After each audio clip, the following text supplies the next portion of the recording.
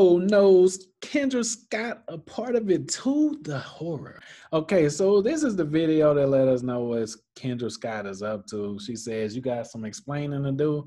I like the anti MLM um, you know, hashtags going on, guys. You know, this video is popping off right here. Okay, so look at this. This is Kendra Scott is testing a new business model. Some fans are delighted, others are suspicious, and we're gonna see why. Okay, Annie O'Grady might be the quintessential Kendra Scott fan. The 27 year old substitute teacher lives in Austin, where Scott's jewelry brand is based and owns at least 50 pieces of the designer's merchandise. She began collecting Kendra Scott when she was just a teenager in high school.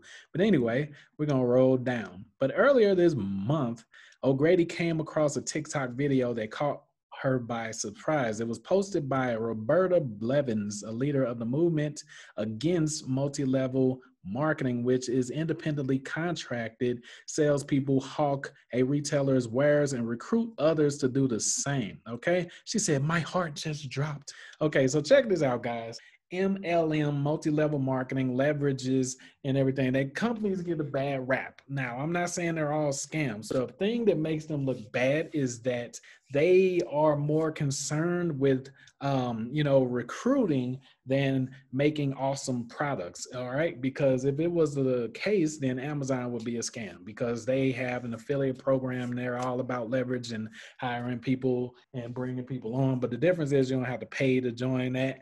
Uh, but still you know you can charge whatever you want to. That doesn't make what you do a scam. The scam is that is just getting people to lie about resort uh, results and getting them to um, you know sell the program uh, of joining to sell the stuff more than the actual products and stuff. They don't really try, try, try to make it better. So this is Kendra Scott and stuff like that. So uh, a lot of these newsflash Kim Kardashian, Mayweather, a lot of these guys are, you know, easily bought now. This is the age where you can buy your favorite celebrity. you can go to their Instagram and say, look, I got 100K.